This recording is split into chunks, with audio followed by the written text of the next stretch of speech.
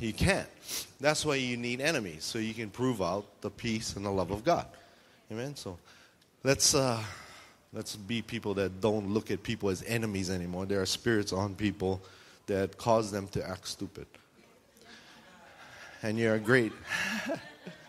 Just go with that. Amen. This is the easiest. and when it's you acting stupid, just saying it was the spirit, it wasn't me. All right.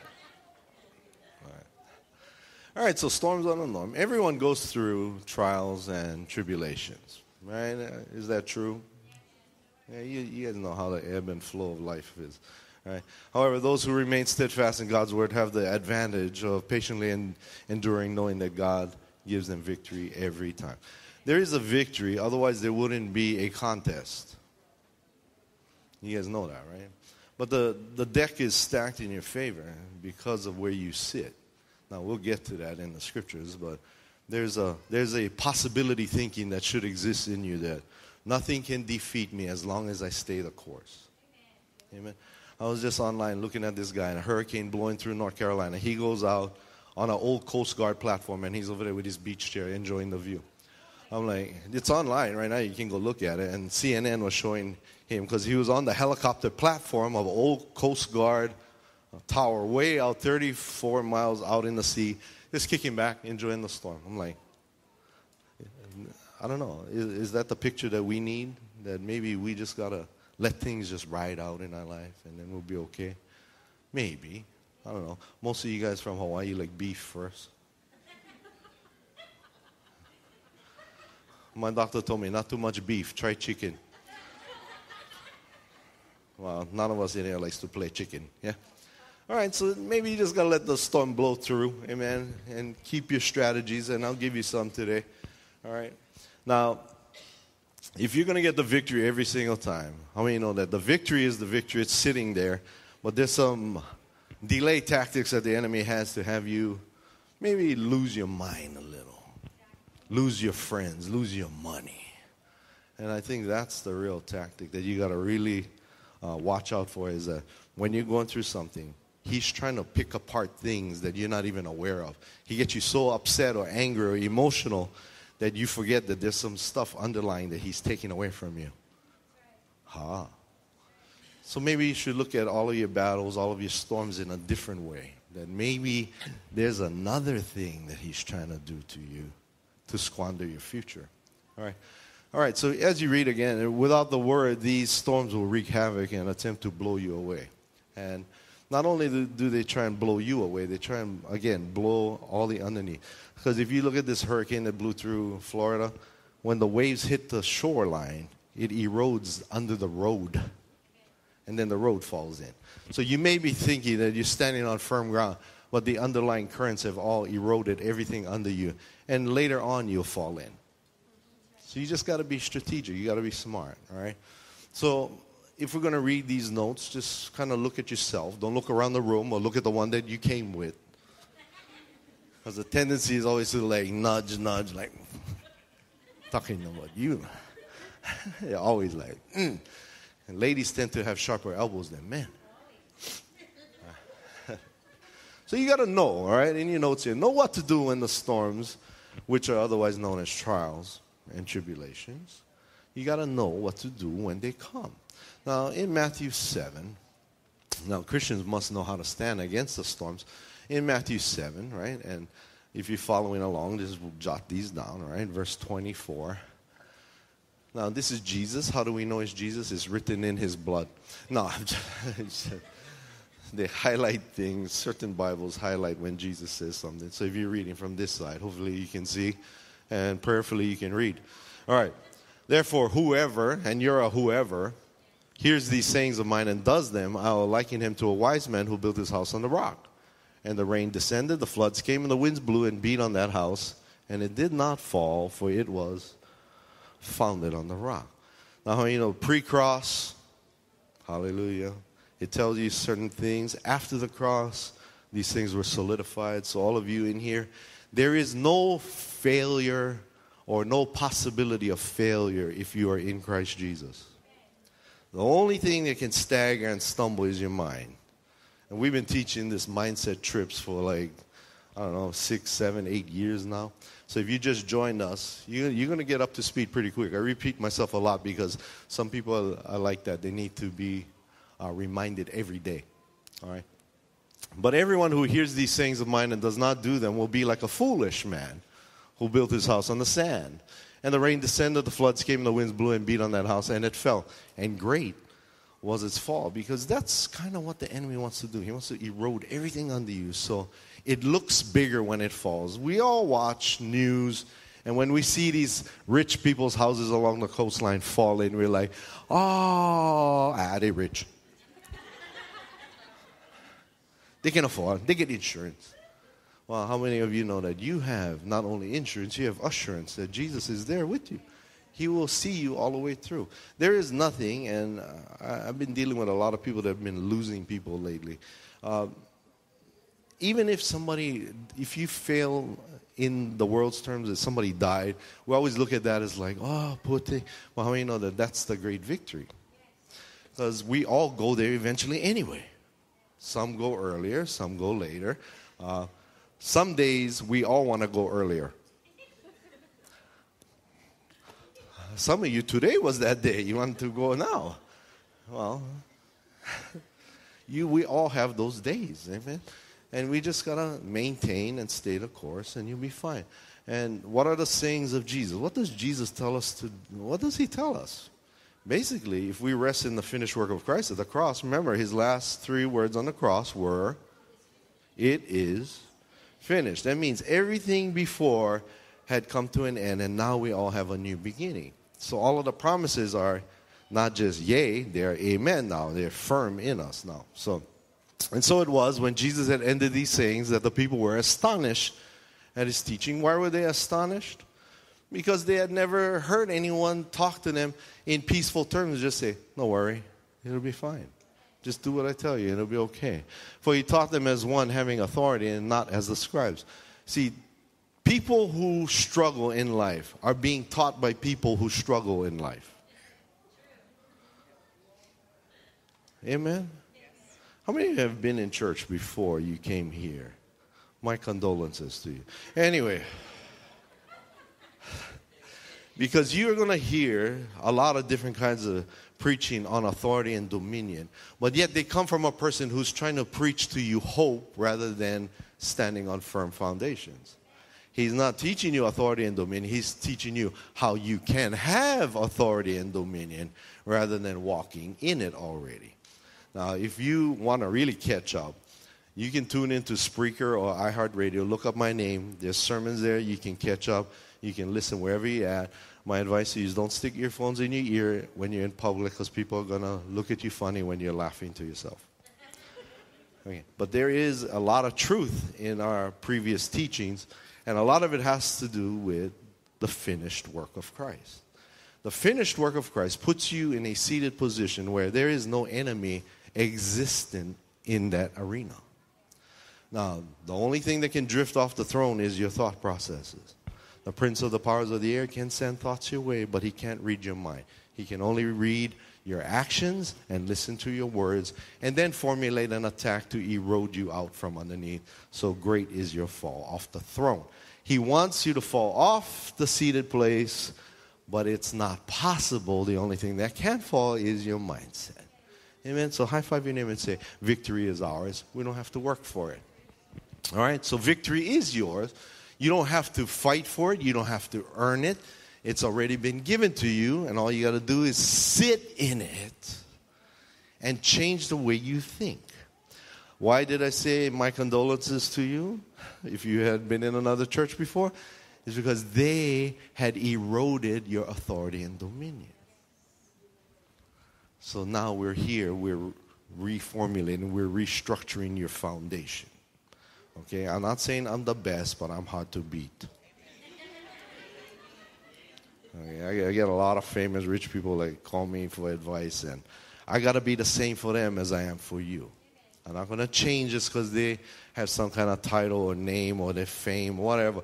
Uh, I'm more inclined to feed our people here in Hilo. So, you guys don't even sound excited. Never mind that. I'm going to Miami in two weeks. Bye. See you guys. I just came from Dallas. All right, Dallas was beautiful. It was cool. It was like 80 and not a cloud in the sky. Tony Romo was still injured.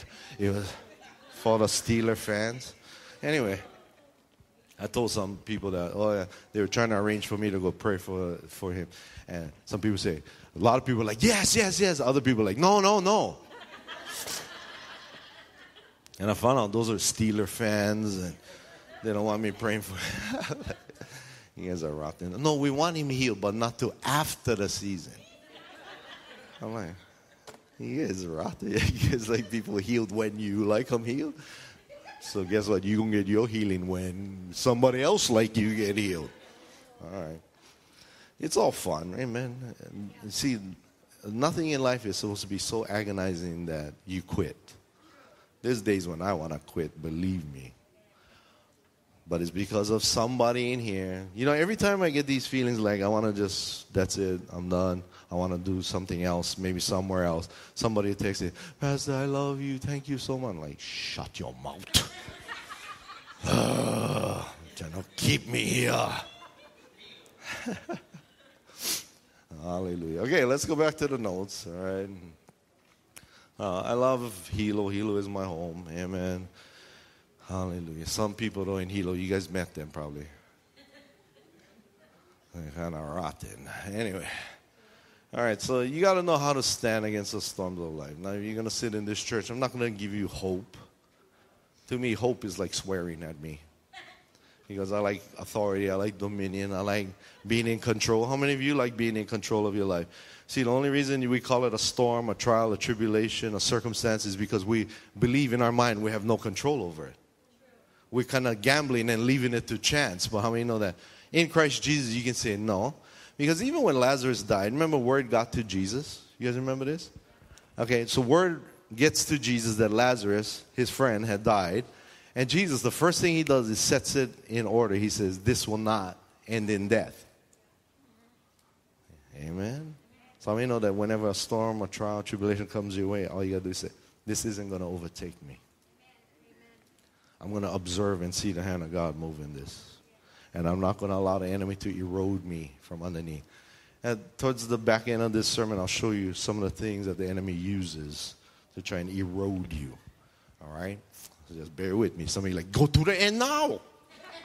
That's, if I go to the end, that's the end. Hello? All right, remain, you got to remain steadfast in the word. Whatever word you know, just stand on that. Amen? You cannot allow emotions to get the best of you. Because your soulish realm is really, really feeble. Your mind, your will, and your emotions are really feeble. The enemy knows this. He wants to just bombard you with all this white noise.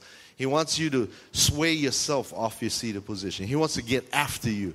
Now, I know we're in a room full of former snapper. Snapper. You guys are snappers. That's the hardest thing is teaching people who are formerly snappers to calm down, relax. Because yeah? most of you talk with your hands, not your mouth. We want you to just analyze the situation, see what the enemy is trying to take away from you. Okay, what is he trying to take away from you? First of all, he's trying to take away your sanity. He's trying to get you to sway and say, Lord, where are you? Mm. Everything with a question mark, right? You guys know is all from the enemy's camp. All right. God doesn't talk in question marks. That's why when people say, Oh, God asked me, what do you want to do? I don't think so. Why would God leave it to you? We're going to always choose the easier way anyway. Why would God ask? He already knows we're going to choose the easier way. Amen. All right. Just because you're going through a difficult time doesn't release you from God's commandment to love others. And this is the number one thing the enemy tries to erode in you is your love for someone else. Because 99.99% of your problems are people. Some of you are like, what? Yeah, if it's money, it's about people. Amen. Even on the money they put in God we trust. But when somebody owe you, you don't trust God.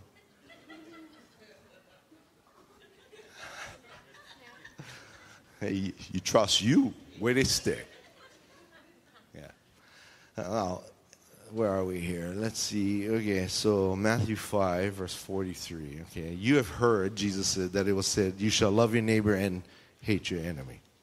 But I say to you, love your enemies, bless those who curse you, do good to those who hate you, and pray for those who spitefully use you and persecute you, that you may be sons of your Father in heaven. For he makes his sun rise on the evil and on the good, and sends rain on the just and on the unjust. For if you love those who love you, what reward do you have? That's why I said earlier, remember, there is no no peace with your friends. You don't have to ask for peace for your friend. You got to ask it from who? There's only peace if you have an enemy. Amen. Who's your ultimate enemy in this whole world? Some would say the devil. Let me just tell you this. The devil was defeated at the cross, so he's not your enemy anymore. Your real enemy is improper mindset and thinking. Okay? Whenever you're given a situation, how many know that God is trusting that you will trust Him? That's it. And God trusts you, so He leaves it to you, and He puts His trust in you to do whatever you want to do. How many of you had a choice to come here today?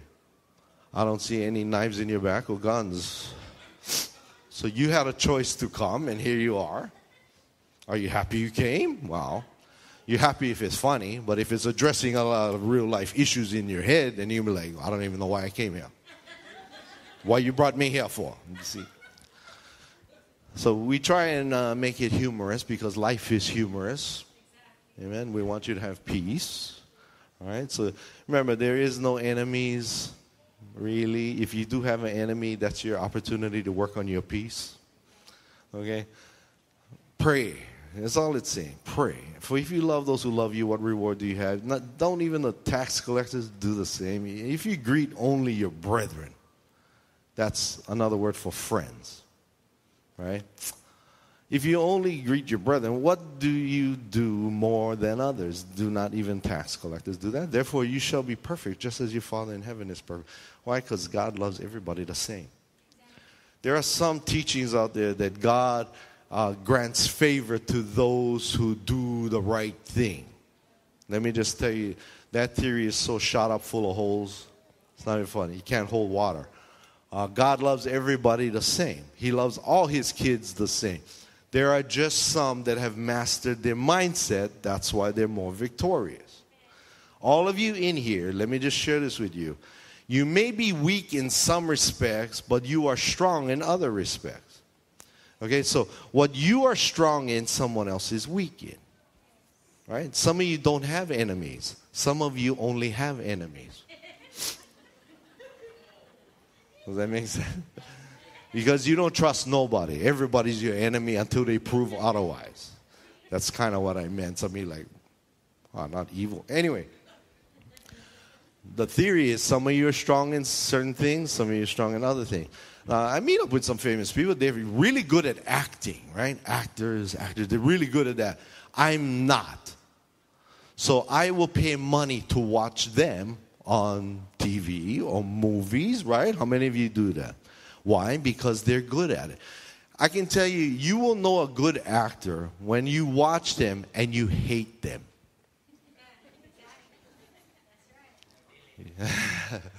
you ever watch one of those kind of movies? You hate them. Uh, there are people in your life who are good actors and actresses too. And you hate them. Why? Because they're good at what they do. Some of you are good actors and actresses. You came in here and you dressed nice, but I know. I know what you are.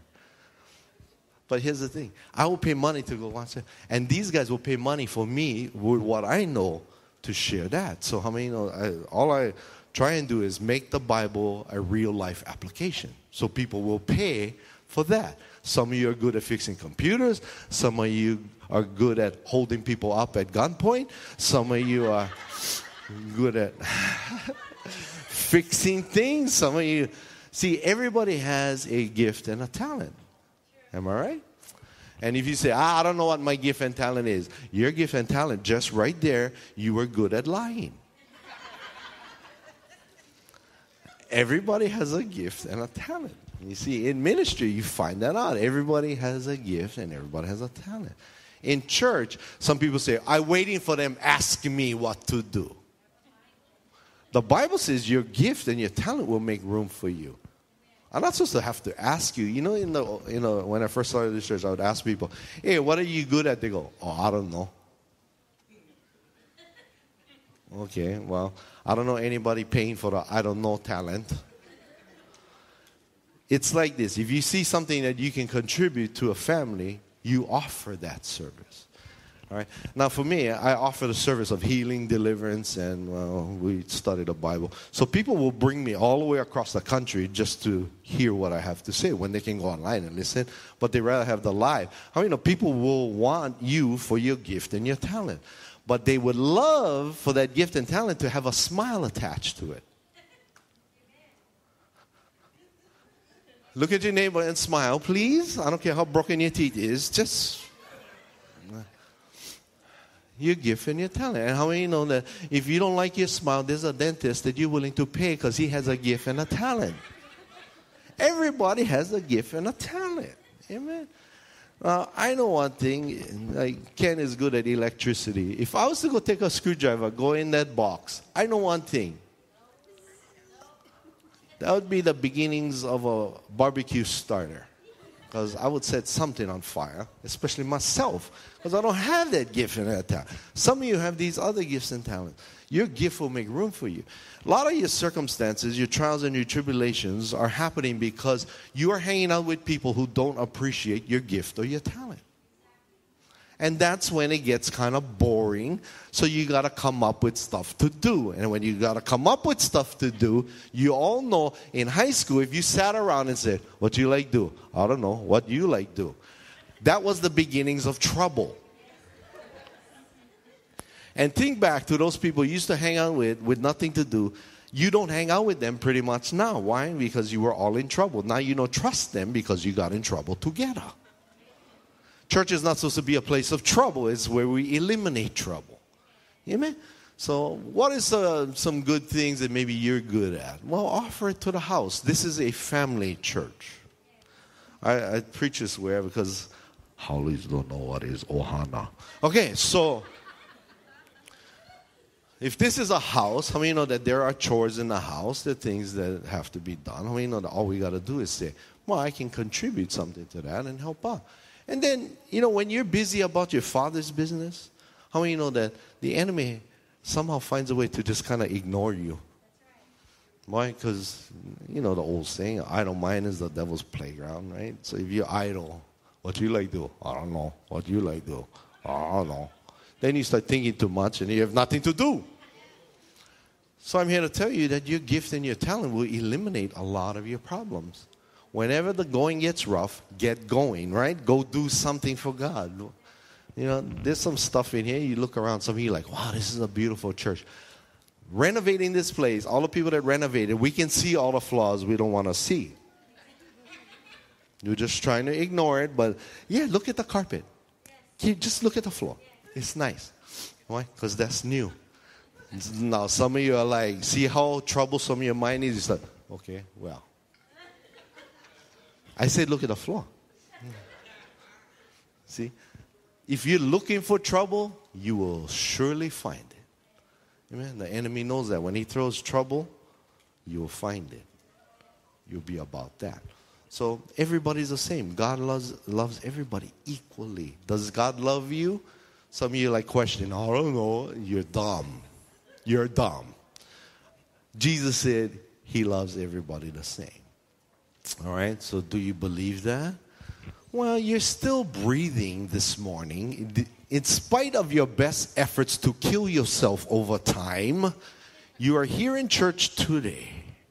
God has saw fit to keep you alive this long. Why? Oh, I don't know exactly. Let's figure out why. Why are you here? Hmm. Well, some of you have this gift of evangelism because you cannot stop talking. That's your gift and your talent. You love to talk to people. Amen. You would enjoy a great career in car sales. But you chose not to. So How about growing the kingdom of God? How do you do that? Talk to people about how good God is, not how bad your problems are. If you want to talk about how bad your problems are, pick a fast food joint early in the morning, especially downtown McDonald's, where everybody's only talking about problems. Because the first thing, I used to go there in the morning and the first thing, I'd be in there eating with a couple of guys, and then these older people would come in, and somebody would come in, hey, how you? Oh, you're not going to believe what happened to me. And then it goes that way. So use it, turn it for positivity. Amen. Now, in your notes, as you're taking notes, I, I can see all of you writing feverishly this morning copying these notes down. If you want a copy of this, by the way, it's $1,400, and it comes with free audio recordings online to match. All right. Just because you're going through a difficult time doesn't release you from God's commandment to what? Love others. So, how many of you can honestly say you love somebody? Well, the Bible says you can love them, but you got to love yourself first. Stop picking yourself apart. Stop looking at all the things you did that caused you to be who you are today. Today is a new beginning. Yesterday is dead. All right. So, two demons in the world are yesterday and tomorrow. Everybody say that. The two demons in the world are. I'm glad you all said it pidgin style. Yesterday and tomorrow. Those are your two biggest enemies. Amen. Why? Because this is the enemy's greatest attempt to get you to live in your past or hope for the future, all the while forgetting about today. Jesus said in Matthew 6 to live for today. Everybody cool with that? So you're here today. You came to church when? Today. You guys are brilliant. It's amazing. Here you are how are you going to approach tomorrow? When midnight happens. That's when you approach tomorrow. You see how brilliant we are? We're geniuses in the making. Amen. Why? Because you will make the most of today. You're sitting in here right now. How many of you are going through something? I can tell you right now, that's a life from a pit of hell. You're not going through nothing. You're sitting there not moving. All your problems are outside these doors. Amen. So when you walk out these doors, don't pick them up like old suitcase and say, oh, here we go. Just say, no, it's going to be different from now on because my mindset will be different because I'm going to trust that God trusts me. See, a lot of a lot of teaching out there teaches you to trust God, and then when it all goes wrong, you blame God. I'm here to tell you, trust yourself. Make better decisions. Amen. Who you hanging out with? See how quiet? Anyway, he just went silent, dead silent, right? Because you got to think now, okay, who am I hanging? Are they profiting you or are they taking from you? Now, everybody, if you came to church with them today, that's a profit. Amen? That's not a loss. So you can now back each other up as you migrate out these doors and say, we're going to do it different. God trusts us to do the right thing. We're going to do the right thing. And that's it. You take one step at a time. Amen. All right. Everybody cool? Yeah, I know. I don't sound like the rest of these guys. Thank God. Because I used to listen to them. I was in Dallas now. It was like, because five hour difference. It was like three in the morning, so 10 o'clock at night over here. And I was still up because I, I just, I couldn't sleep. So three o'clock, I was watching on this satellite TV, Daystar. How many of you ever heard of Daystar? Christian. I was watching this thing, and they were having a telethon. I was like, wow, this is amazing. A Christian station having a telethon. And then I heard the guy say, let's all trust God together. And while we're trusting God, if you would remember us and send us $100 a month, I said, this sucker not trusting God. He's telling everybody what they should give. He's telling everybody to trust God, but he's not trusting God. You guys catch that? That's something wrong. And then he says, We're going to send you this vial of prayer oil for your contribution of $49.95 or more. I was like, son of a gun, I underpricing mine on the free one that I make. Because I make free kind and you can just give whatever you want. I was like, shucks, I could be getting 50 bucks. I'm not trusting God. Anyway, I was watching this whole thing and the tears, they would, oh God, help us, God. Keep us on the air. I'm like, if you got to beg God to keep you on the air, you should get off the air. Some of you agree, some of you like, oh. Yeah, if you trust God, God is going to pay for it, right? You Just say, hey, we get bills for pay. Yeah, watch this next show. No, they got to spend hours and hours raising money. And then they show all the people on the phones. And, and, and Sister Mary from Florida just called in. She's going to give us a $1,000. I'm like, shucks. Maybe we should film live and put all of you guys on one phone right over there. Then I don't need to take offering, right? Anyway. I just found it kind of ironic. And I was watching this and I was like, oh, good night, crappers. It's 5.30 in the morning, Dallas time. So it would be 12.30, right? So I set my alarm to get up at 8 o'clock. I laid down and I got up last Sunday now. Church starts at 10. I woke up at 10:23.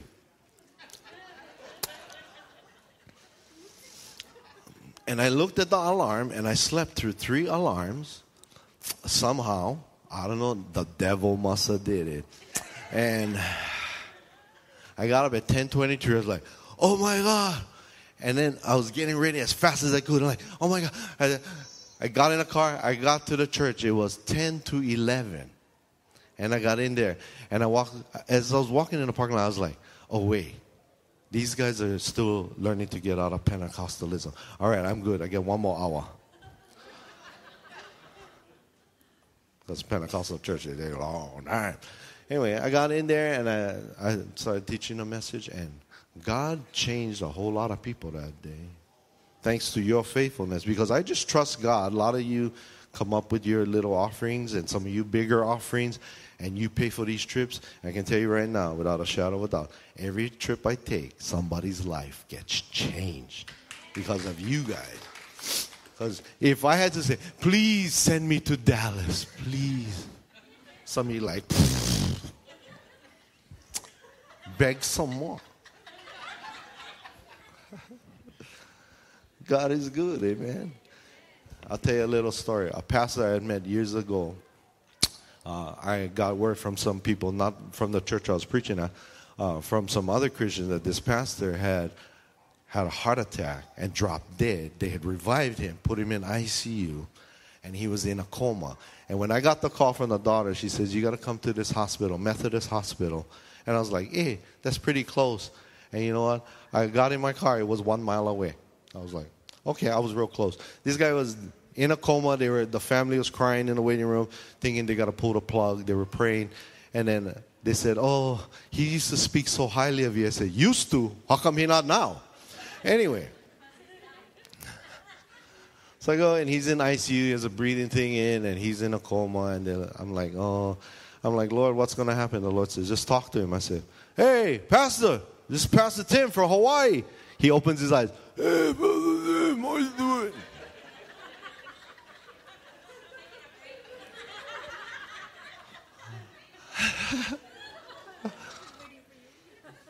I was like, they weren't ready to pull the plug. He's like, so the nurse came and they, the doctor had to come take out the breathing tube and all of this. And he's like, oh man, I was a goner, but I'm here now. Hallelujah. Hey, how you been, Pastor Tim? It's been a long time. I'm like, you know that your family was ready to send you off down the river. He's like, oh. He said, you know how it is, we teach faith, right? I'm like, no, me, we walk by faith, not by sight. Anyway, well, he's alive today. He went home the other day, and he's all good. And thanks to you, because if I wasn't there, I don't know what would happen. Who would go yell at him? They'll be having his funeral this week because in the mainland it's fast. It's not like over here. You got to wait two months for Dodo to give you an appointment to die. Anyway, over there it's fast. Within a week and a half, they're putting you in the ground already. So he he he uh, he texted me this morning. He says, "Hey man, I'm being in church this morning. Praise God." I'm like, Ah, church is better than in the ground. Especially if you got a message. If you don't have a message, in the ground is better than in the pulpit. You all have a message, by the way. All of you are preachers. You know how I know? I just watch you with your kids. You know you, and then you Pentecostal. Look, um, yeah, preach it.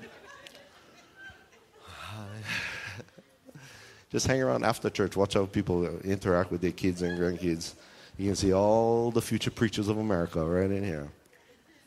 So that guy's alive, and thanks to all of you contributing, that guy's alive now. Amen. The family went from to, huh? What? He's alive? I didn't even pray for the guy. Think about it. I, did I say I prayed for him? No, I said, hey, Pastor, this is Okay, so where was the prayer in that?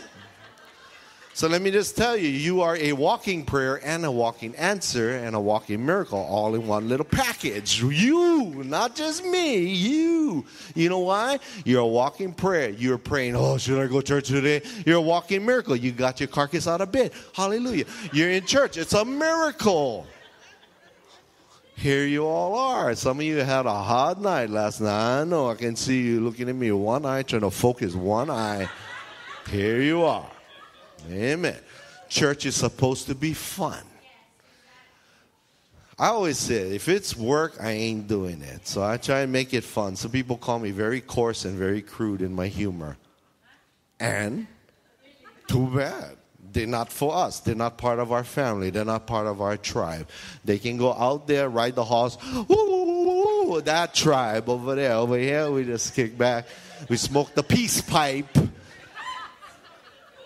and we enjoy each other's company. Amen. Some of you were lighting up the peace pipe last night, I can tell. Amen. Hallelujah. Yes, you can see the ones that were smoking a peace pipe last night. They're like, look at me, like,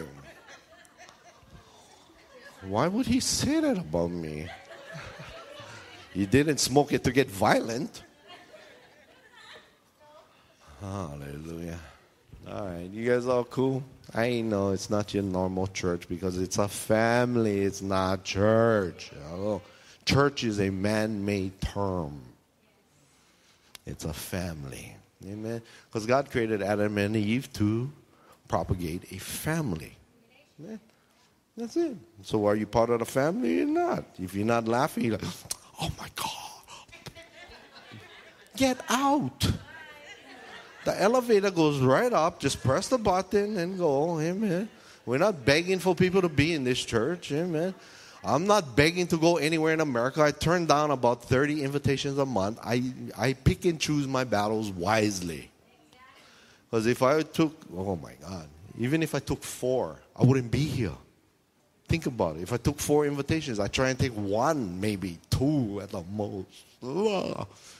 Miami is far. Dallas is far. Pahoa is far. you know, know this funny the mainland. I was driving back and forth to do ministry in Dallas. It's like it tells me on the GPS 37 miles. I was like, oh my God, I gotta drive to Honokaa almost. Oh, that's far. Except when you're going 75 on the freeway, and then it's like 20 minutes and you're there. Over here, be like, I gotta go all the way a car. You start thinking, I gotta go text at least. Wow. Here we are. There's no distance too far. You live on an island. Just keep going left or keep going right. And you come right back to where you started. Amen? Yes, good. All right. Some of you reading the notes, you're ignoring me. Good for you. All right. God is our rock. Is that true? Yes. Because remember, anytime you see rock, stone, it's always representative of the law. So God is our law of love. We are on top of it. There is no commandments anymore. They were fulfilled in Jesus' death on the cross. I know some churches are preaching sin and death. We don't. I'm sorry. Why? Because Jesus paid for all of that. So we preach love and peace pipes and whatever you do. Amen. So God is our rock. Continue to assemble with other believers. This is what it is. Always come to church. I'm not begging you, I'm just advising you. It's a great idea to come to church because you learned something. I hope you learned something. Amen. You should have learned something already. I'll try and give you something every 8.2 minutes. Anyway. Hear and do the word. How do you hear and do the word? Simple. If Jesus said, Love one another, what part of that didn't you get? I'm waiting. Love who? You love yourself. You love God as you love your neighbor. Amen. So you love your neighbors too. All right. All right. Without God's word, you'll be blown away. All right. Christians should mature during the storms of life because they know God's got their back. God got you. Amen. He's got you so rapidly. Uh, t- uh, well, how should I say this? If you are in Christ Jesus, you are already wrapped tight. There's nothing that can separate you from the love of God, the Bible says. So you are wrapped tight already. When the pressure is on, it reveals the real you. Are we, are we correct in that statement? When you're going through something, I know by your text message, some ladies text me, Pastor, how are you today? And I'm like, oh, they must be going through something, but they're okay. Amen? Is that the okay?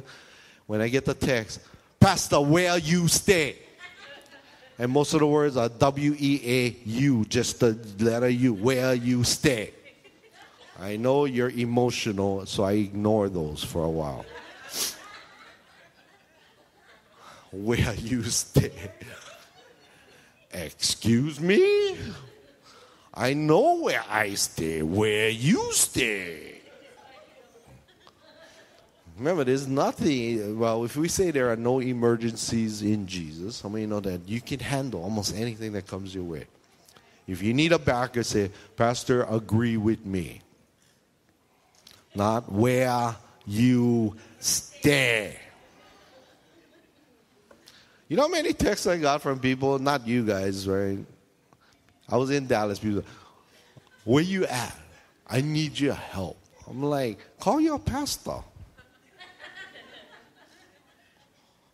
For real, other church people. They, there's a lot of people go to other churches. Should I say this?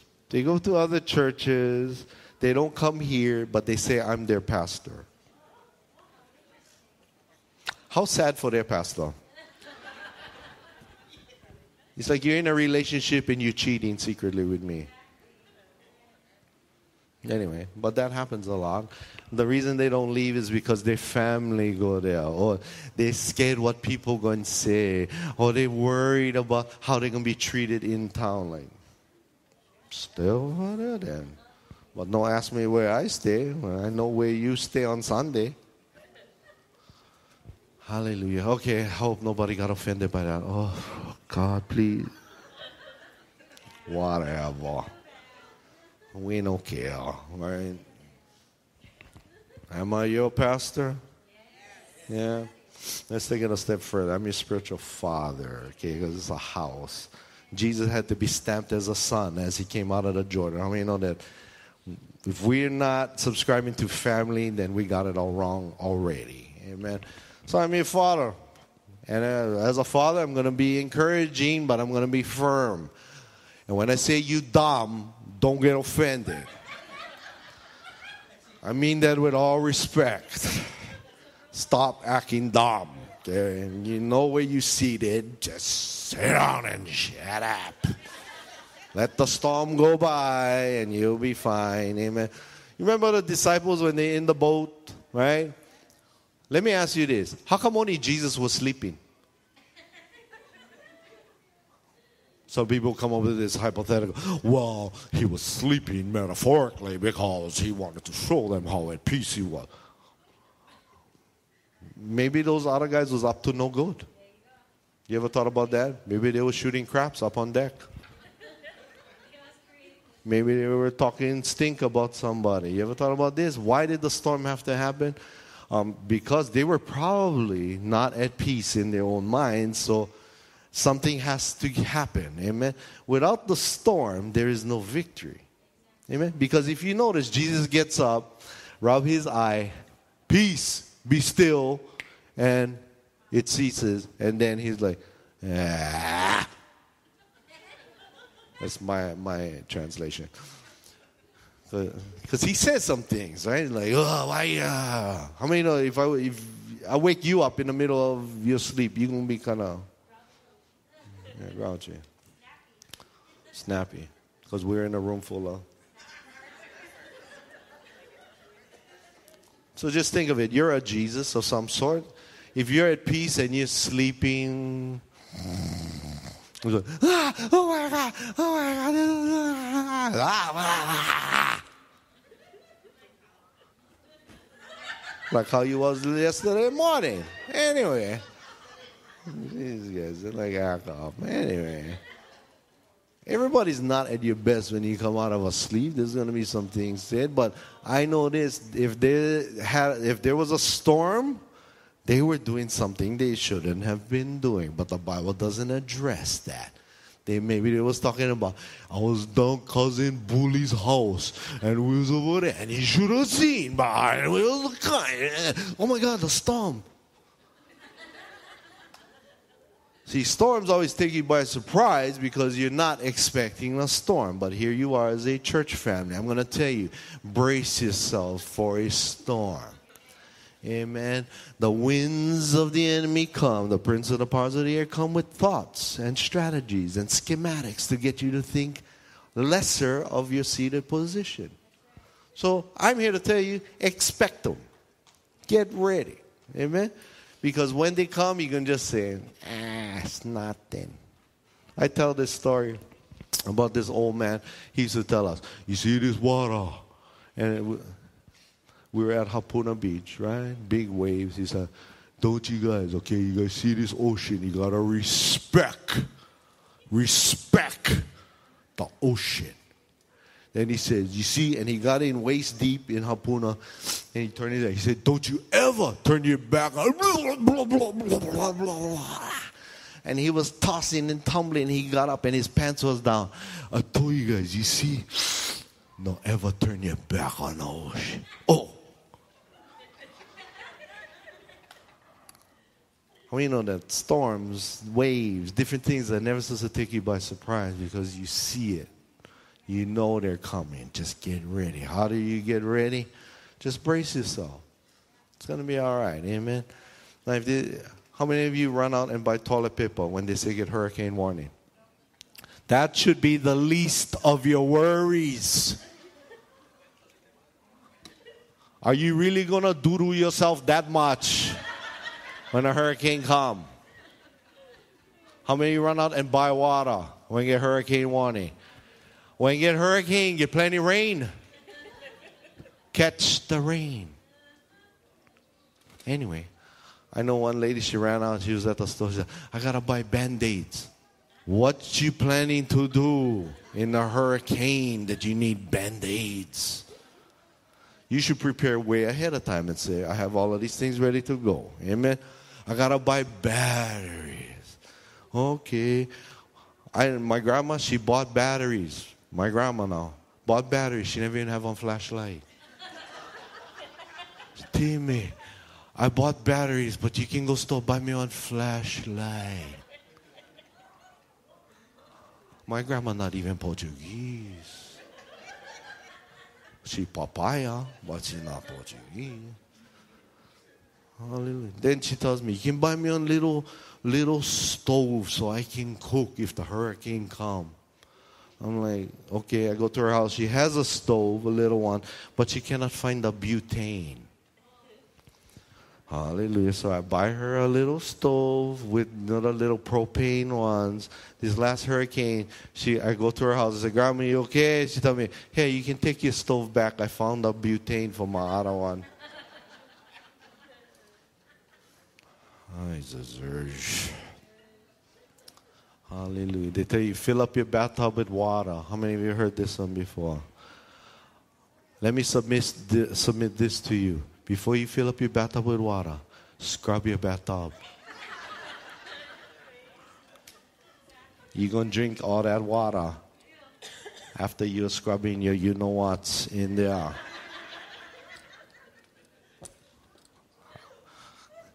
You're going to be the one in the clinic, hepatitis A, B, C, D, E, and F.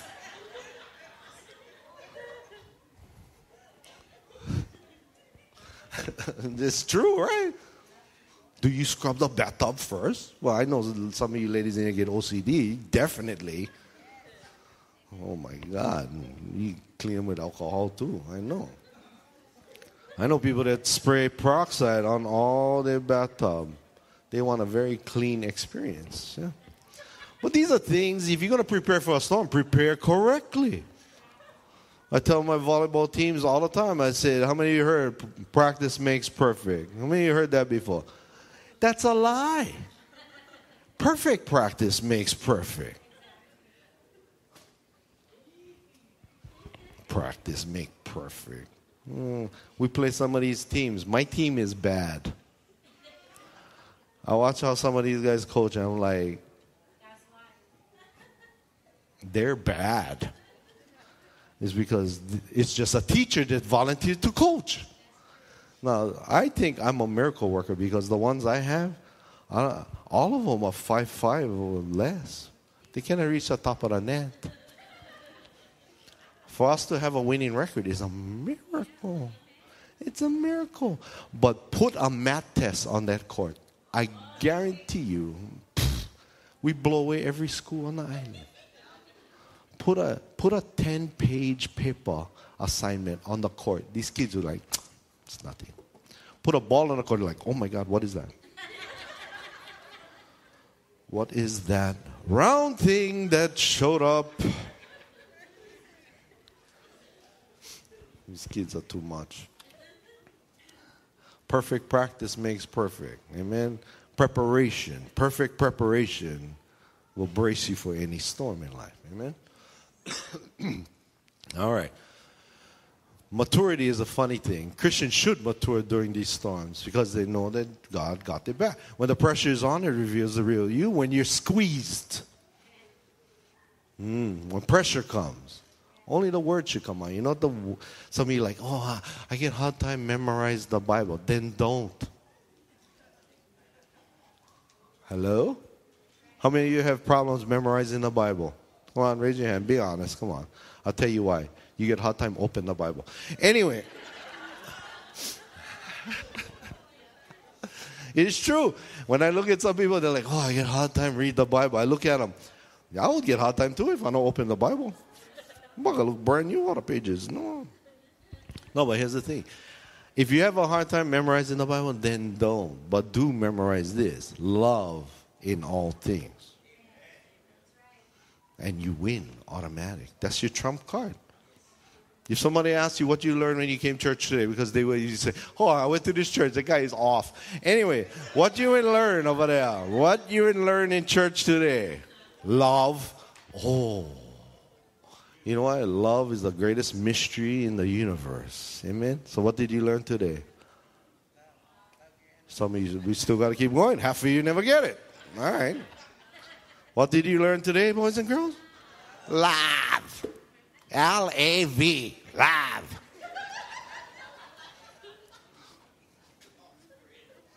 You gotta love yourself first. How do you love yourself? Here, forget about your yesterdays.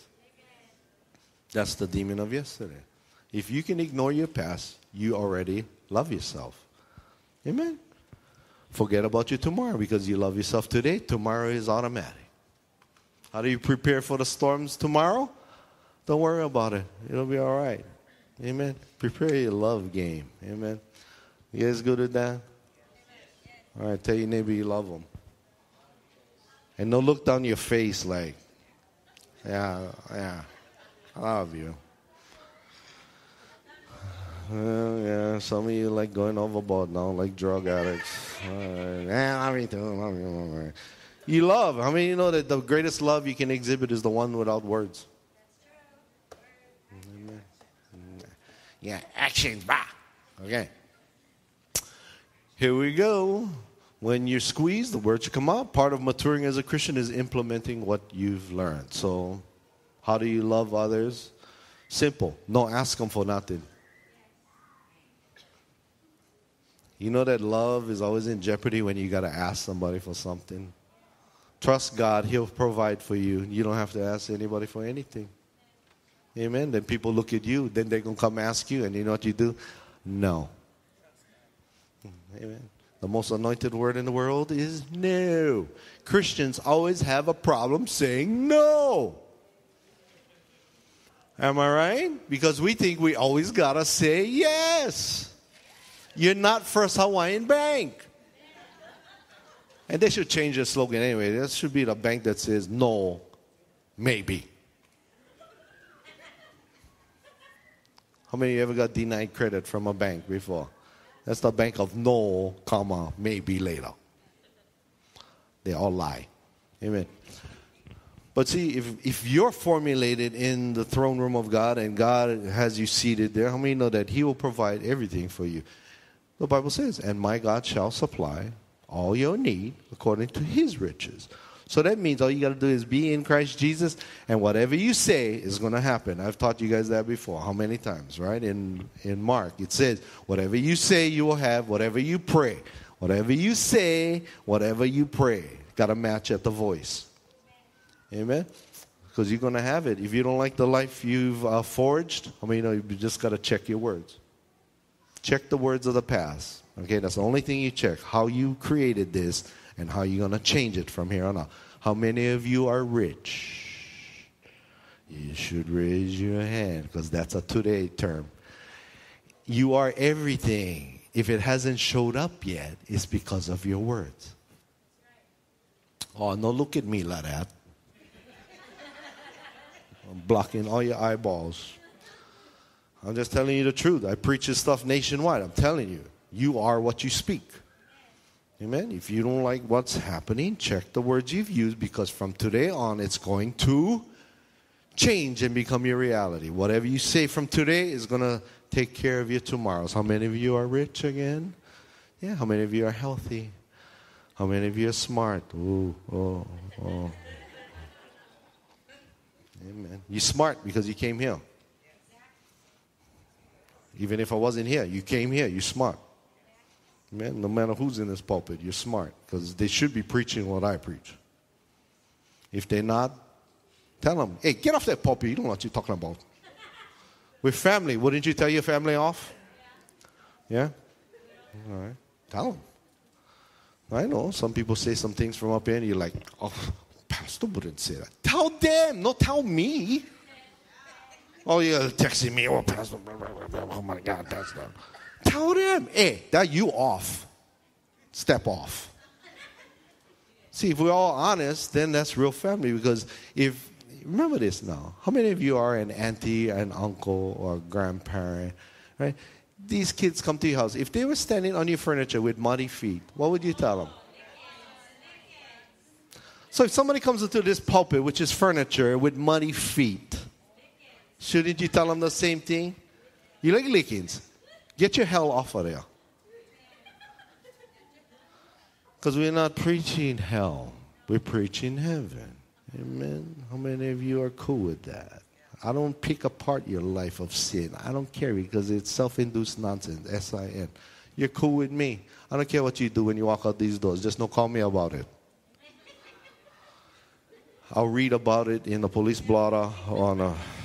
It's all good. I pray for you all every day. Amen. Hallelujah. Some of you guys got to buy me new knee pads. Okay. All right. Here we are again. When life gets rough, recognize that God's favor is always working. Can you read? Let's read Psalm 41, verse 5. My enemies speak evil of me. When will he die and his name perish? And if he comes to see me, he speaks lies. His heart gathers iniquity to itself. When he goes out, he tells it. All who hate me whisper together against me. Against me, they devise my hurt. How many of you have experienced this before? People talking trash about you. Some of you right now, they're doing it. They do it about me too. Amen? right? An evil disease, they say, clings to him. And now that he lies down, he will rise up no more. Even my own familiar friend in whom I trusted, who ate my bread, has lifted up his heel against me. But you, O Lord, be merciful to me and raise me up that I may repay them. By this I know that you are well pleased with me because my enemies, or my enemy does not triumph over me. As for me, you uphold me in my integrity and set me before your face forever. Blessed be the Lord God of Israel from everlasting to everlasting. Amen. Amen. amen. How many know that this is David? He's talking about revenge tactics. How many know that all of these things, all of these people, this has not changed. People still speak evil of one another. But the good part is you are seated in heavenly places in Christ Jesus, according to Ephesians 2 6. So let them talk. Let them talk. I know you like to smash their face. I know. I know you like run them over with your car and back up and run them over again. I know. But the thing is, you can't do that because you're going to be front page news. Let them go. When you catch them alone, then you beat them up. But other than that, mm, anyway, I'm just saying. These are things that we will, mm, mm. Because it happens to me all the time. I just, uh, you know, there's a person out there, I prayed for him. He got healed of terminal cancer. He had one week left to live. He got healed. He's going around now telling people that, oh no, it wasn't Pastor Tim. Oh, it was me. I didn't. Like, and you know what I just heard? He got cancer again. And I just got a text. Guess from who? him. Guess what I'm going to do? Crazy. I'm going to ignore him. Are you crazy? No. Now, because of all of that, now he's going to have to come to the church, sit down, become a family member. You got to learn now because you never learned the first time how to love. That was pure. You know, when somebody gets healed, that's just pure love. God's love heals them. God's love heals them. Not me, not anything. God's love and mercy heals them. If God uses me, that's fine. If I yell, hey, Pastor, and he gets up, hey, how many know that's God's love healed him? Now, these kind of guys, when they get healed and they go out and they start talking all this mess, how many know now they got to come and plant themselves here? I'm not going to go out of my way now. Amen. Come on, I'm human too. Amen. Hallelujah. You like shop at Walmart or Target? Then you got to go there to shop.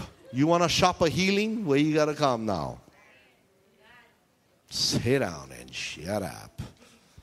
Yeah, man. I'm, yeah, I'm just like you guys. People, words hurt, don't they? Yeah? But our right hand hurt more when we crack, crack them in the eye. Right? But since we can't do that because we're going to risk arrest and prosecution, well, you know, we just go and follow what we know, and they follow us. Amen. So we understand that at the seated place, all of these things are given to us, but nobody should take advantage of us anymore. So if people talk about you, remember, don't let them take advantage of you later by seeking their approval because two other demons you want to talk about that are attributed to yesterday and tomorrow rejection and jealousy. Rejection. Many of us in this room are fighting through old rejections. And then we exhibit jealousy outwardly. We, we suffer from rejection and we pass on jealousy. So we need to stop. Amen. We, you're not rejected by God, so you should not be jealous of anybody else. Remember, your words change the course of your future. So, what are you speaking towards you tomorrow in you today? How many of you are rich and healthy and smart? And hallelujah. Remember, some relationships are doomed to fail because you weren't supposed to be in them in the first place. I'm waiting for a cookie frog. Okay, back to the notes. I want you to be successful, but you got to want to be successful. Amen. Even when I ran for mayor, people say, Oh, why you run for? You lost. No, I didn't. I didn't. I didn't lose. I did that for the life experience. I didn't do it to get the experience. I just did it because There are certain things in your life you want to accomplish in this life, right? Regardless, win, lose, or draw, it doesn't matter, right? There's certain things you want to do. How many of you want to go see the Grand Canyon? Well, so I, I flew over the Grand Canyon, and people ask me, Did you go to the Grand Canyon? Yep. I went right over. I saw them several times. I flew right over like it's a big hole. Looks like some people I know. And people say, You don't want to go there? I did from the sky. I took God's view. Why would I want to go there and go, Okay, Psalm. Hallelujah. Some people they say, Oh, you went to Dallas. Did you go to. Mm, I go to so many places. If I went to every place that people tell me I should go, I would never minister to anybody. Amen. The only thing I look forward to is food. Amen. So if you tell me about food place, I probably will explore that. Right? Because that's the way we are. Hawaii people, we eat till we're tired, not till we're full. Okay? All right. Now, you guys seeing all of this blah, blah, blah, blah, blah, blah, blah up here? You guys reading? All right. Don't get offended with God. How many you know you can never blame God, right? Because He, do you believe that God is your ultimate Father in the universe? Raise your hand if you do. Then how does God create things? Speaking. So you're His child. How do you create things? So don't blame God when you spoke something that came into being, all right? Because that's just your creative DNA. You want something to change. I asked you earlier, are you rich? Are you healthy? Are you smart? Then that's to you now. You got to go do it. So don't get offended with God. Doing so limits his ability to get involved in your situation. Amen. Refuse to allow your emotions to move you. That's another good strategy. Don't get emotional. Right? How many of you know emotional people? Don't they drive you nuts? Serious kind? You're like, oh my God, stop crying already. But when you crying, you don't like nobody tell you that. All right, just so you know, okay.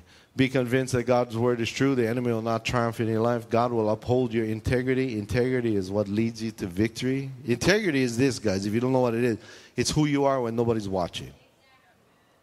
Okay? Who are you when nobody's watching? Be the same person off as you are on. That's why people say, Oh, Pastor, you just tell them, man, straight. Yes, because that's who I am off the pulpit. In fact, I use a lot more creative words when I'm off the pulpit that start with F.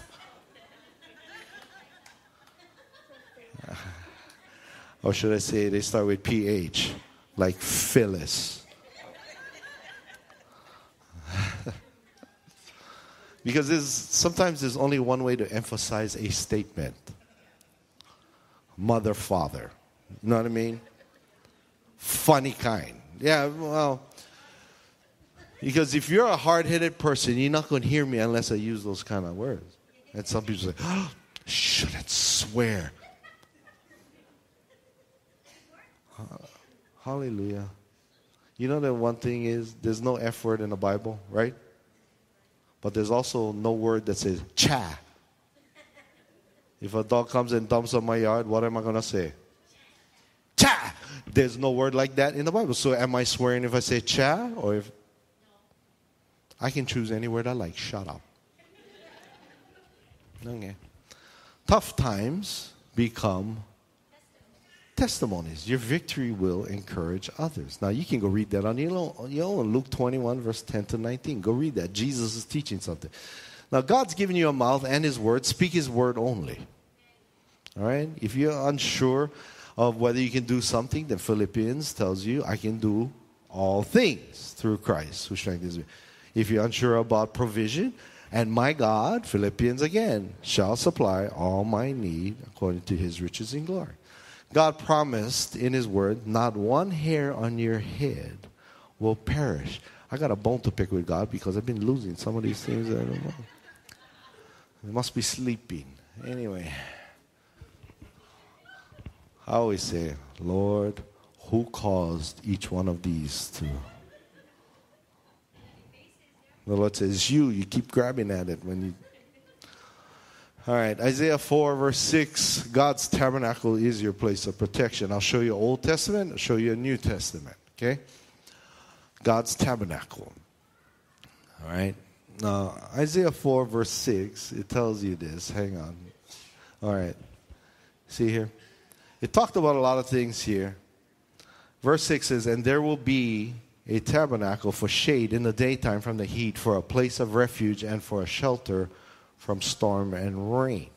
I mean, you know, it's telling you that there will be a tabernacle. So that's Old Testament. After Jesus said it is finished on the cross, the tabernacle becomes you. You become part of it. And when we go to Ephesians 2, verse 6, which is what I've been talking about, verse 6, and raised us up together and made us sit together in the heavenly places in Christ Jesus. You have now taken a seated position in the tabernacle of God.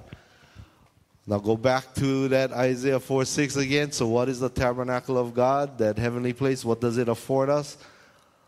Shade in the daytime from the heat. So, is there heat going on in your life? The heat is on. Yeah, sometimes.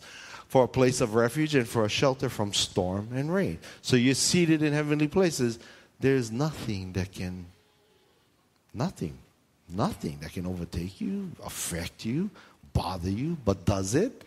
Yeah, because it comes to your head. The storms are usually thoughts. Amen? The rain is an attitude, it's anger usually. Storm and rain, mm, hard because if you speak words out, those are seeds that find a destination. So if you're, have, you're having stormy weather, how many know that sometimes you wash away your own seeds? That's why you got to speak what God speaks from the throne. What does He speak? Love. You guys never catch that. One person. What did you learn today? Love. L U V. Perfect. Earlier was L A V. Love. Okay. You guys cool with that? All right. Back to your notes. We're getting there. We're getting there. Shut your head. Okay. God's tabernacle is your place of protection. Okay, in the presence of God, you develop a different perspective concerning your storms. You can go read Psalm 107, verses 20 to 29. Read this next one. In the presence of God, you will rise above all your problems. Number two, hear from God. Number three, get your emotions under control. Number four, receive direction. God will bring you out of your distress. Hallelujah. That's real intense stress is de-stress. Anyway, shut up. All right. Even when you're instructed by God to do something, storms will arise. Mark 4. Let's take a look real fast. 435 to 41. You guys kind of know this story I'm gathering. Read this. On the same day when evening had come, he said to them, Let us cross over to the other side. Now, first off, would Jesus tell you to do something that's not going to happen? So if he said, let's cross over to the other side, and anything happens in between, what's the end result? Because he already set the end from the beginning. We're going to get to the other side. Now, when they had left the multitude, they took Jesus along in the boat as he was, and other little boats were also with him. And a great windstorm arose, and the waves beat into the boat so that it was already filling up. All right? But he was in the stern. The boat is filling up with water, and what is Jesus doing? So obviously, the water was like filling up around him. He thought it was a jacuzzi. Anyway. And they awoke him and said to him, Teacher, don't you care that we are perishing? Which is what most people do when something happens. Don't you care, God, what I'm going through? Then Jesus arose grouchy as anything, because what happens next? He rebukes the wind and said to the sea, Peace be still. And the wind ceased, and there was a great calm. But he said to them, Why are you so fearful? How is it that you have no faith? And they feared exceedingly and said to one another, Who can this be that even the wind and the sea obey him? So they, even after that, they were still afraid. Like, oh my God, what's this dude's trip? How the heck he did that? How many know that you are the new Jesus? whatever you speak to is going to happen. Why? Because Ephesians 2 6, He made us sit together in the heavenly places in Christ Jesus. So you are the new Jesus. Whatever you say now has to happen. You know why they were afraid? Because their minds were weak. You want to succeed in this life, even in Hilo, Hawaii? Change your mind. Change your mind. Don't look at yesterday. Don't look at tomorrow. Just look at today. What did you learn today? Love. You know why Jesus calmed the storm? Because he loved them. In spite of them, even if he was grouchy, woke up in the middle of the night, he still loved them. That's why he did it. Amen. And as soon as he says, Peace be still, what happens to the storm? Stops. Right? These are life lessons. All right? Whatever you speak to is going to happen. Speak to your checkbook. If you have one, who has a checkbook nowadays? Anyway, speak to your debit card. Bruh, fill up. And then his good advice stop spending them. You know, most of you, we cannot see the numbers on your debit card. say why. Come on, say why. Because you swiping, swiping, swiping, swiping. Swiping, swiping. If you got to go on the computer and input your credit card number and you look at it, you're like, hold them up to the light at an angle. You're using your card too much. Amen. What more you need from Walmart? Hallelujah. All right. Storms will arise. Learn a lesson from the disciples. When a storm comes, you don't know what to do. Run to Jesus. Amen. Better yet, you see it in him. Just talk to him. Uh, Jesus, what's up with these guys? And he'll tell you, I am that I am. You are Sam, I am, but I am that I am. Stop eating that old green eggs and ham. Make wise decisions during difficult, difficult times. You know the wisest decision you can make in difficult times? Pull away from people. Right? Because remember, they had to come away from the multitudes. And then the storm came, and then the storm was defeated. A lot of you run to people. You should run away from people. Right? Because all you're doing is looking to validate a position when you run to people. So stay away from them and just say, no, I'm going to trust this one. All right, because Jesus knew the power of his word, he spoke to the storm and there was a great calm.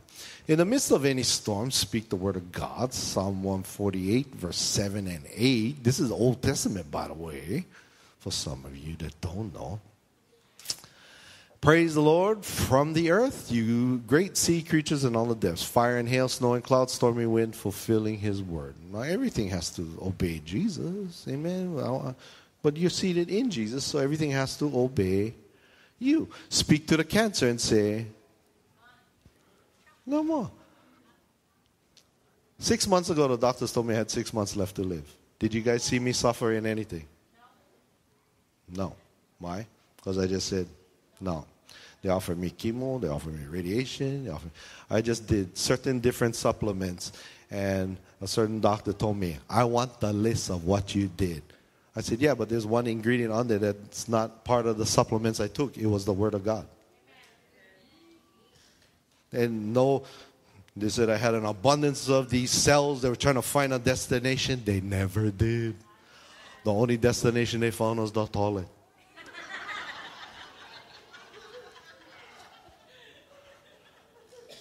Six months ago, they told me October would be a very crucial month for me. I'll probably be battling for my life.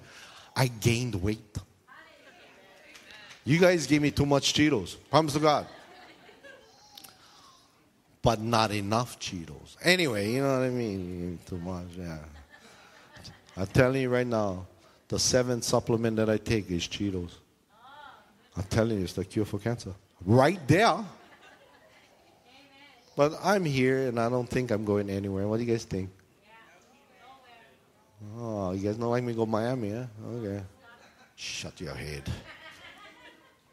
The Miami Dolphins need help.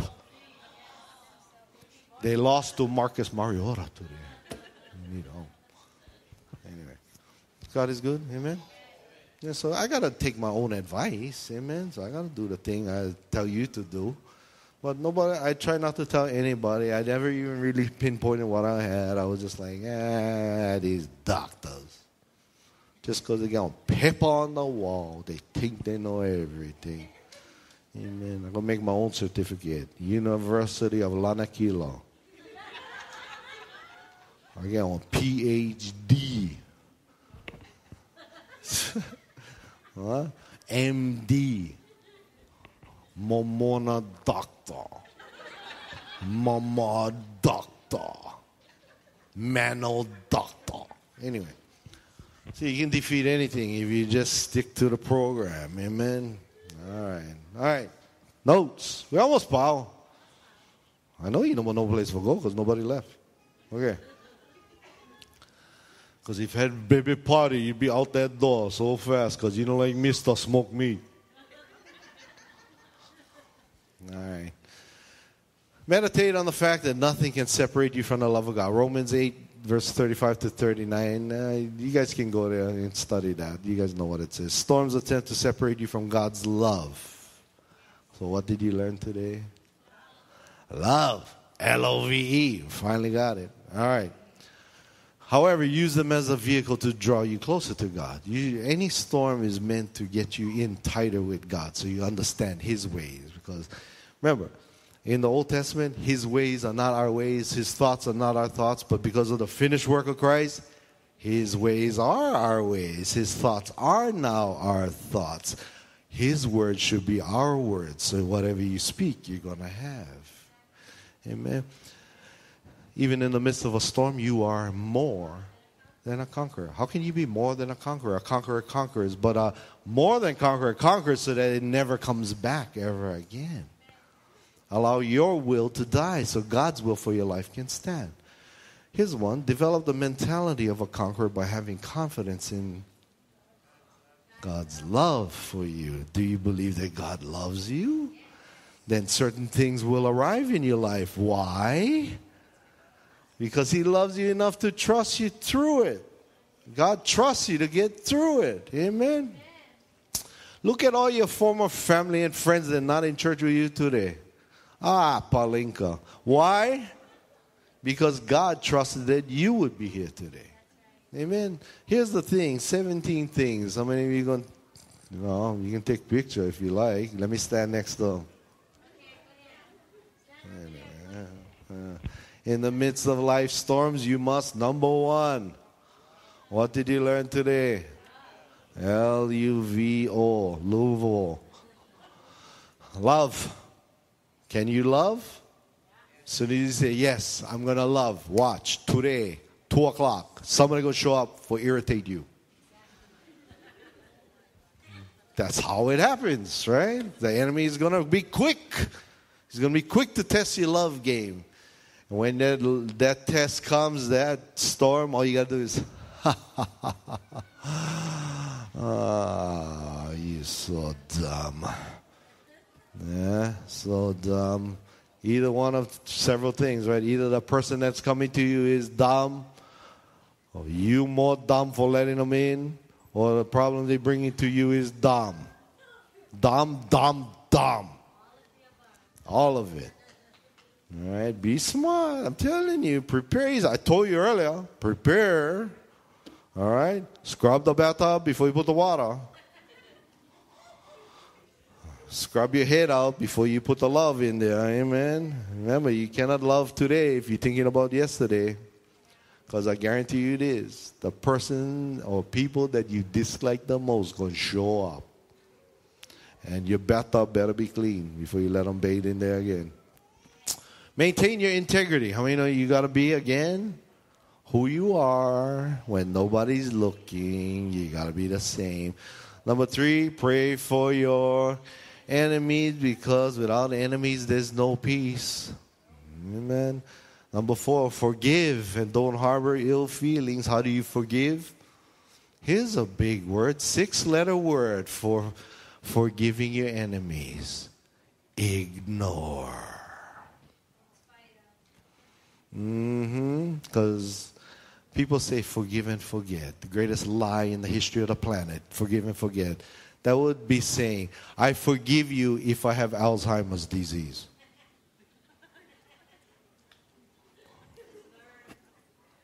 How many of you praying for Alzheimer's disease? No. So God created your brain so magnificent that you cannot forget. So you're going to have to ignore. All right? Don't say that. Oh, hey, forgive and forget. You cannot forget. Why? Because those people were rotten to you. So you're going to have to forgive and ignore. Good. You learned something else today. What else you learn? Love and ignore. E E G N O A. Ignore.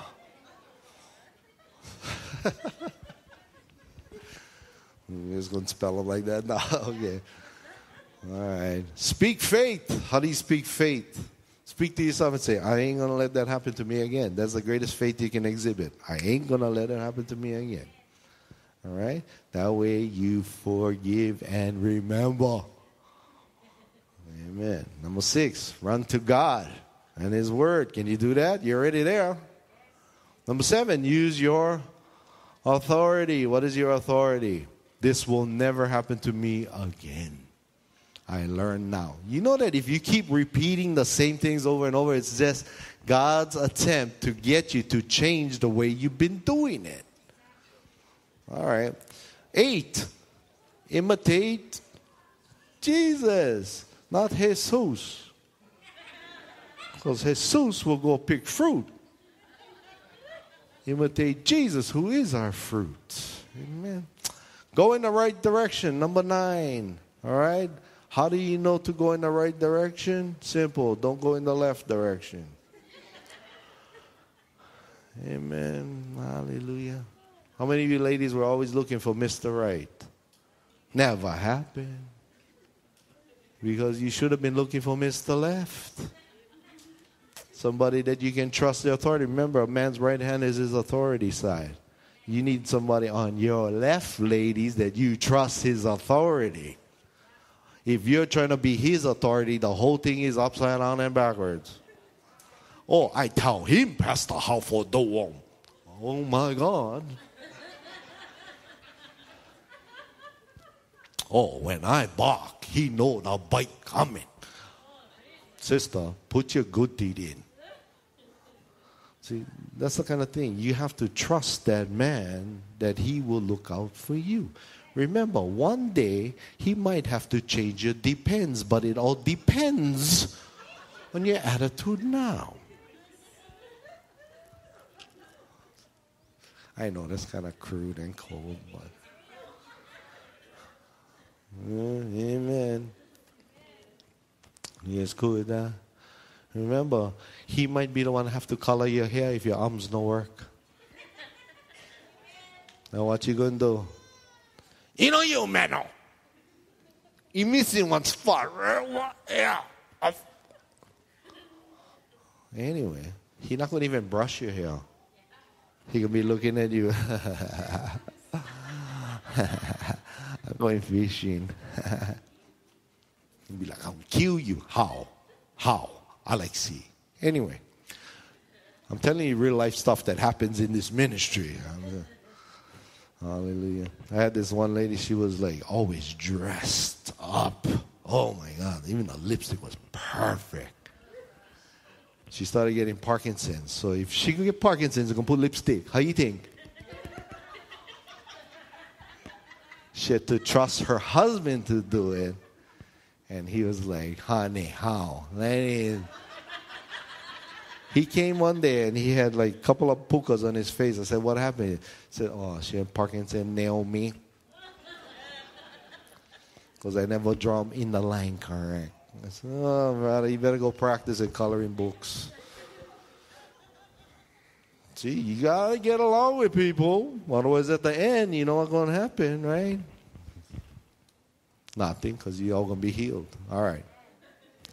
Go in the right direction. Number 10, what is it? Pray for strength. How do you pray for strength? Mm. Prayer is just saying, right? Saying prayer got a match. So just say you're strong and walk in that. Number 11, obey the Lord. How do you obey the Lord? You get these inklings sometimes to do something. And then you don't do them, and then you go, I should have did them. Well, obey the Lord early. Number 12, lay down your will. Amen. Your will is your hard headedness. Don't be hard headed. Most of you in here can pound nails with your hard head. Tell the truth. We can build house with your head. All right. Number 13, be patiently consistent. You got to be consistent. Okay, for people to trust you, you got to be consistent. Number 14, listen to your spiritual leaders. Who's your spiritual leader? Well, it's whoever you trust to be a leader over you spiritually. If it's me, just trust it. I'll speak to you right from this pulpit. Most of you don't need you don't even need an appointment with me. You get all your answers early. All right? All right, number 15, believe God loves you. Does he? Yeah, you're still breathing. Gotta be. 16, trust in God's ability to uphold you. Why? Where did he seat you? In heavenly places, in Christ Jesus, in his Son, at his right hand. Remember, you are seated at God's right hand. All right? So you trust him with his authority. All right. Last one. Properly manage your emotions. You guys know how to do that? Simple. When you get a chance to get discombobulated in your brain, don't trust your brain. Amen. The enemy knows you. He knows you better than you know yourself. All right, stand up. That's good. You guys enjoy that? I hope so. What did you